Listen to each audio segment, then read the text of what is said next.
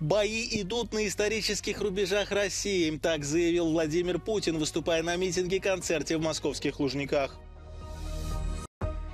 Визит самого высокопоставленного дипломата КНР в Москву – мощный сигнал Вашингтону. Россия и Китай договорились углублять сотрудничество. Евросоюз выступает за создание специального трибунала, чтобы судить президента России и ее военное руководство за преступление агрессии против Украины.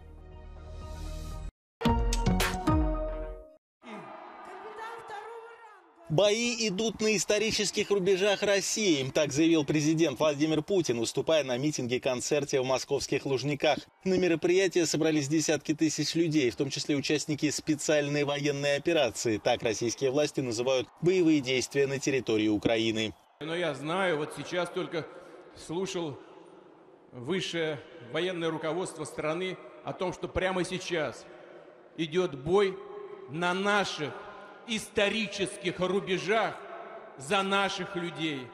Его ведут такие же, такие же мужественные бойцы, которые здесь стоят сейчас, рядом с нами. Формально концерт приурочен к Дню защитника Отечества, который в России отмечают 23 февраля. В прошлом году на следующий день после праздника началось российское вторжение в Украину.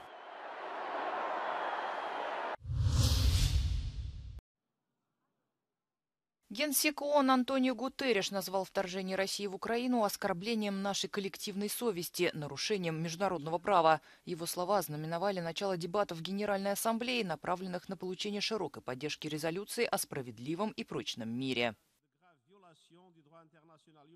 The one-year mark of Russia's invasion of Ukraine stands as a grim milestone for the people of Ukraine and for the international community. That invasion is an affront to our collective conscience, and the impact is being felt far beyond Ukraine. Украина отстаивает свое право на самооборону. There is no other country in the world that wants peace as much as Ukraine does. We never wanted war. We never planned to attack anyone. Our troops do not stand on anyone else's land. За проект резолюции активно выступают США. This vote will go down in history.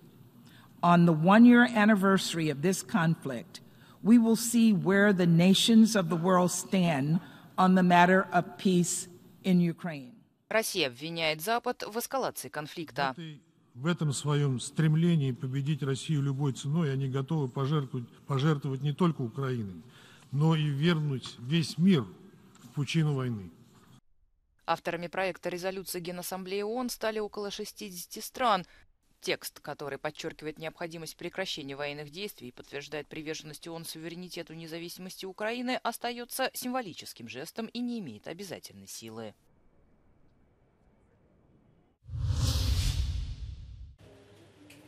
Ukraine told schools to hold classes remotely from the 22nd and until the 24th of February because of the risk of Russian missile strikes around the first anniversary of Moscow's 2022 full-scale invasion. When it comes to the situation on the ground, it is unlikely that Russian forces can deliver any victory there until the 24th of February, assumed the Institute for the Study of War and the UK Defence Ministry. Russian forces continued making incremental tactical gains in and around Bakhmut in the east of Ukraine. The US-based think tank says the geolocated footage from that area may suggest that Russian forces have given up on trying to encircle Bakhmut and are instead focusing on fighting into Bakhmut from the north. Ukrainian officials reported that Russian forces continue to reinforce and build fortifications in rear areas of southern Ukraine.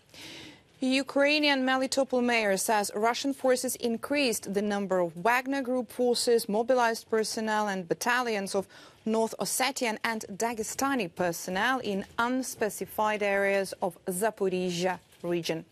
The Institute for the Study of War concluded transporting such irregular forces who are likely battle-weary, poorly trained or both to Zaporizhia region suggests that Russian military leadership has deprioritized making any new territorial gains in this part of the south of Ukraine.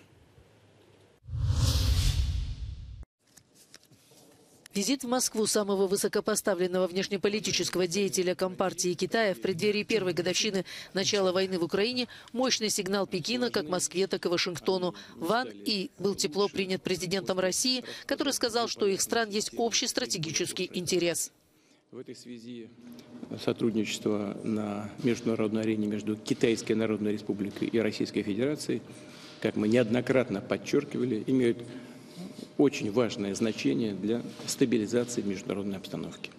Китай отказался критиковать вторжение в Украину, и Ван И намекнул, что это не произойдет под давлением США. 中俄的全面战略伙伴关系从不针对第三方，当然也就不受任何第三方的干扰和挑拨，我们更不会被第三方的胁迫和施压所压倒。 Совместные военно-морские учения России и КНР в Южной Африке стали еще одним свидетельством растущего военного сотрудничества.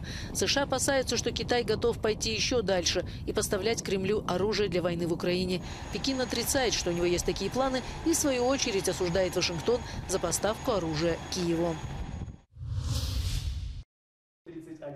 В Брюсселе все громче звучат призывы судить президента России и ее политическое и военное руководство за преступление агрессии против Украины. Европейские комиссии и парламент хотят, чтобы для этого был создан специальный трибунал, как это было после Второй мировой войны. Соединенные Штаты, Германия и ряд других стран ЕС активно поддерживают эту идею. Однако Россия, скорее всего, наложила бы вето на любую резолюцию такого содержания, представленную в Совете Безопасности ООН. По мнению профессора права Брюссельского свободного университета, такая задача может быть поставлена поставлена перед Генеральной Ассамблеей ООН, в которой участвует 193 государства. The resolutions voted by the United Nations General Assembly are not binding.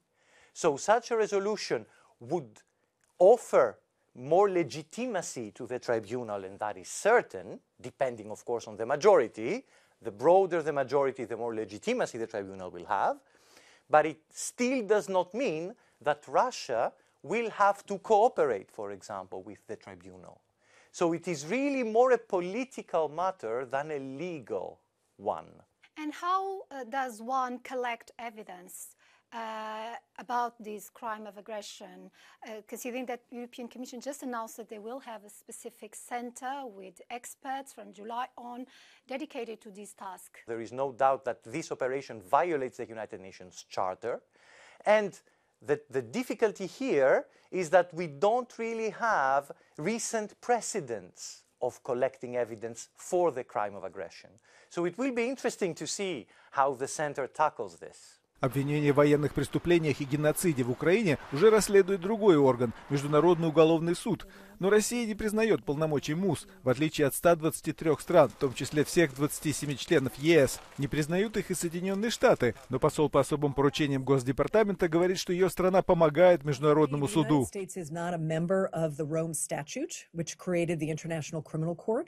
But there are many ways in which we can be and have been supportive of the work of the court. This includes a whole range of diplomatic support, of course. We can also assist with the capture and transfer of suspects.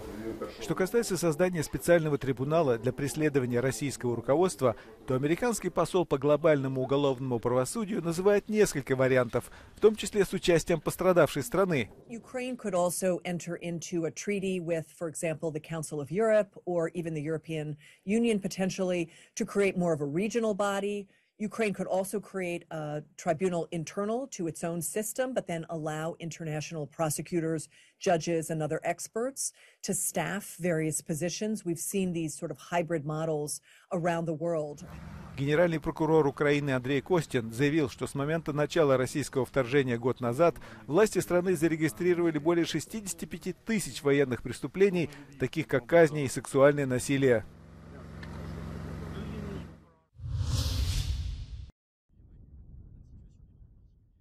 Италия приняла решение передать Украине несколько комплексов ПВО САМПТ, известные также как «Мамба».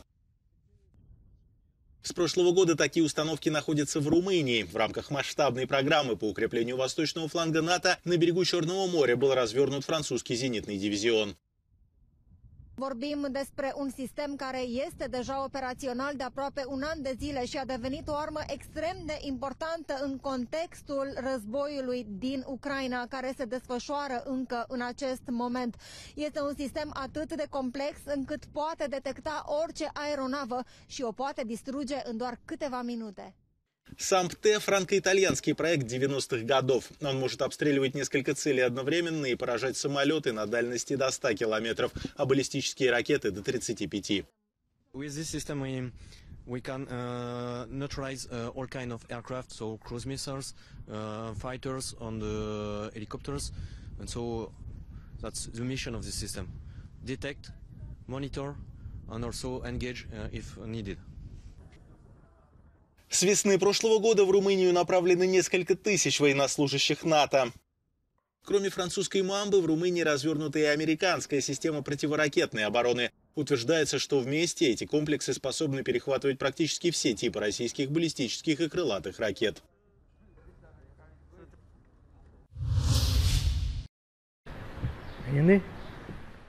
Во Франции учительница скончалась после нападения школьника. По данным прокуратуры, ученик ворвался в класс в среду утром во время урока и нанес преподавательнице испанского языка несколько ударов ножом. 16-летнего нападавшего арестовали. Следователи предполагают, что терактом это не было. Местные СМИ приводят неподтвержденные данные о том, что у подростка могло быть психическое расстройство. Власти страны выступили в поддержку учителей и преподавателей. На место преступления прибыл министр образования Франции.